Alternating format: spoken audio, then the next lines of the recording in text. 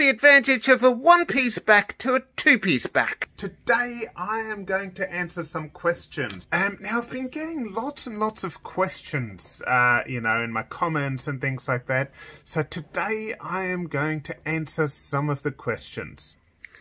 Hi, Olaf. Is it safe to clean the string with lighter fluid?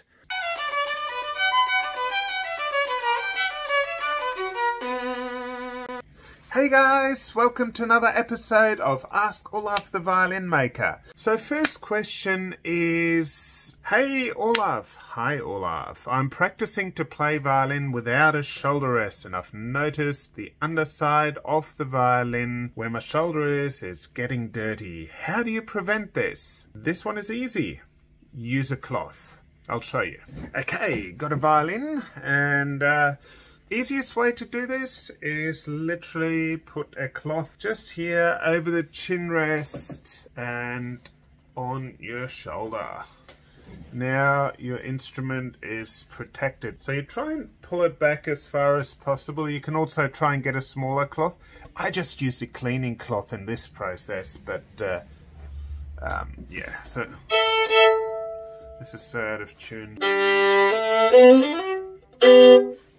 So that will keep the underside of the instrument clean. Uh, if you're worried at the end of playing, always just wipe the instrument down and uh, maybe use a different cloth than the one you put on your shoulder. Um, yeah, wipe the instrument down and that way you keep the instrument a lot cleaner. Um, definitely a good thing to do. Also, if you always wash your hands before you play, super important. It keeps the whole instrument clean. This is just a little trick and I always recommend to wipe your whole instrument down after playing anyway. Alright, next question. Hey Olaf, could you please make a video on proper rosining processes? Because a lot of people are confused about the best way to rosin, long, slow, heavy strokes, short, fast strokes, how to gauge the proper amount and how to get it off if you have too much also the different types of rosins and how they suit different players. Today I'm mainly going to be talking about how to rosin. I'll probably end up doing a whole video on different types of rosins, but for now I will just go with how to rosin. So here's a bow of mine, it's my Floreal bow. And the way I rosin, firstly, um, I always rosin more on the end, so more down the bottom and the top. So this rosin is kind of a bit chewed. It's my Melos rosin, but it, uh, I think it got a little bit warm and it kind of shape shifted. Don't let your rosin get hot. If your rosin gets hot, it changes shape. Also, don't drop your rosin and you just have to buy a new one. Alright, so the way I rosin is I actually don't rosin a lot. So I put more on the ends like this, then long stroke, bit more on the tip, long stroke, bit more down the bottom, long stroke at the tip, maybe a couple of extra strokes, and I'm done. That's it. So what, that was maybe about seven passes over the whole thing, and then like more towards the end. And the reason you put more on the end is because when you're playing down the bottom, the bow, you know, it grabs a little bit more, and then up the top, again, you, you're using a bit more rosin. Uh, the thing is, some players say you have to rosin every time you play. That depends on how much you play. What if you only play 10 minutes a day? Your rosin, your bow will literally end up with mostly rosin and a little bit of bow left. Like it'll be all dusty.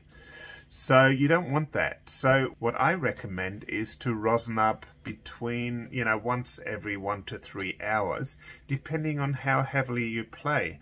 So this, like to, to find the really exact amount of rosining, you need to listen carefully. So when your bow's responding well, you don't have to rosin. And when it stops responding, you know, it's time, like if it slides a little bit, it's time to rosin. If you keep rosining and it really isn't making it any better, then it's time for a rehair. If you've put way too much rosin on, just get a cleaning cloth, like your violin cleaning cloth, and wipe it off just be very careful. Don't use liquids and things like that. Just, just wipe it off dry. So you can see my cloth is totally white and there should be heaps less rosin on the bow.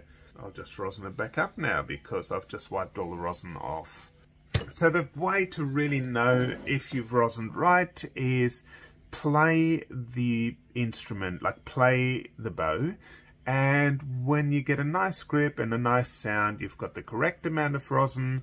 If it sounds scratchy, you've probably got too much rosin. And also if it's depositing a lot of rosin dust onto the top plate and bridge and strings. And if it's a bit slidey, you're like you're not getting a good tone, it's probably got too little rosin or it's time for a rehair and you find out if it needs a rehair by rosining it if it sounds like that and if it doesn't improve it's time for rehair. Did you know that soloists quite often get their bow rehaired every few concerts? Sometimes between literally between three or four concerts. So sometimes they will need to get their bow re rehaired after about one to two weeks. Other times it might be a month or two. A lot of professionals get their bow rehaired every six months. And if you're not a professional, two years will probably do it. Just depends a little bit. Okay, um, I'm not going to discuss rosins too much. I just know that lighter rosins um, are a little bit finer and darker rosins give a more gritty, uh, oomphy sound. So mm. darker rosins are probably better for like sort of more rocky and oomphy types of music, whereas lighter rosins are probably better for classical baroque music and that kind of stuff. Hello Olaf! I've been told it's better to put rosin on your bow after you play and not before. Is this true? I don't think so. I don't really think it makes a difference. I don't know where you got that from, but I don't think it makes a difference, and it should be fine to rosin up before you play. So I was wondering, what's the difference between a one-piece back and a two-piece back on a violin? There are no disadvantages or advantages to the sound. It's just what you like better.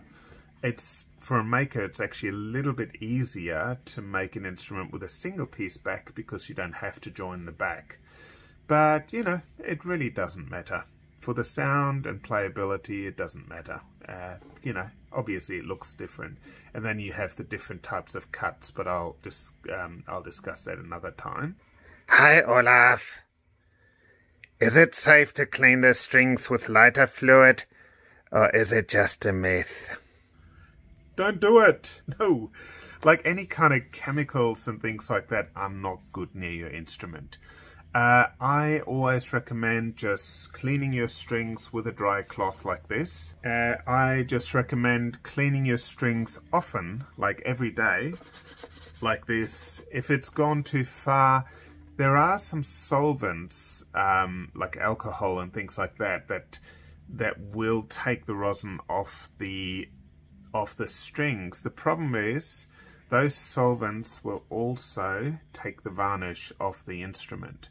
So if you're not skilled at this, you know, you can put a drop of solvent on the instrument and ruin your varnish. And I remember very well at, at one point, uh, there was a myth going around that um, perfume is good to clean because perfume contains alcohol, that perfume is a good thing to clean the strings with, and a player cleaned the violin with perfume. One drop neatly went onto the instrument and it literally took a circle of varnish off this instrument like it was quite a nice old instrument and I was able to retouch it and you couldn't see the repair but it was quite a costly little experiment. So don't do it. It's just not worth it. Unless you've got a super cheap instrument where it doesn't matter anyway, but I just wouldn't do it. What do you think of the recent scientific studies that suggest that the best varnish for violins is regular hardware store spar varnish? The kind people use on their decks and outdoor furniture. They strongly indicate that the varnishes concocted by violin makers are Confi, something like that. Also suggests that the varnish used by the old Italian masters was nothing more than the marine spar varnish of the day. Don't do it. Don't ruin a good violin with decking varnish. It wouldn't work. So yes, the you're right. The violin makers of the day used to go to their local chemist and buy the varnish. I've actually got a really nice little video of me going into the chemist in Cremona. Cremona at the moment. It's absolutely beautiful. And uh, I'm walking past a pharmacy right here. Pharmacy. And what's really amazing is that it's been established in uh, 1734. So that was three years before Stradivarius would have died. So this chemist has been here for almost 300 years. And that chemist has been around since the early 1700s. So I actually walked into the same chemist that some famous violin makers may have walked into 300 years ago, nearly 300 years ago. But no, so they got their varnish, they probably got their varnish from the chemists or the pharmacies of the time, but don't use that kind of varnish, that's terrible. The, the, uh, a lot of the varnishes that were used were boiled together out of linseed oil and various resins. Uh, that's been scientifically proven. There's also some other elements in there, and especially in the ground but uh, and these are varnishes that new makers are using a lot now as well but there are lots of different types of varnishes that makers use um, today back then there was a lot of oil varnishes and then um, things like shellac came out you know as the trade routes expanded people went to Indonesia and got stuff like shellac and other amazing rosins and played around with them. So some of the French and German makers played around with a lot of the different varnishes. Uh, but the old oil varnish is really lovely still. There's one thing is a lot of those oil varnishes actually wear very easily and on a lot of the famous old instruments, the varnish that's left is quite often there's only like about 10% of original varnish left, you know, if even less. Anyway, these are the questions that I can answer for today. Um, keep asking questions. I'll make another video like this one. Keep playing, keep having fun. I know a lot of people are in lockdown and partial lockdown. Things are closed. You know, getting back into your or getting into your instrument is the perfect way to kind of you know to find peace and and harmony in your life so keep you know keep playing your instrument keep making beautiful music keep practicing and uh and thanks so much for watching. If you like the video, click the like button, but also subscribe because it's been proven scientifically by the same people that have been researching violin varnish that people who subscribe to my channel are definitely better string players. Definitely. I think I read something like that. Anyway, subscribe, click on the little bell, ding ding, and you will find out every time I post a new video. Alright, see you guys later. Bye.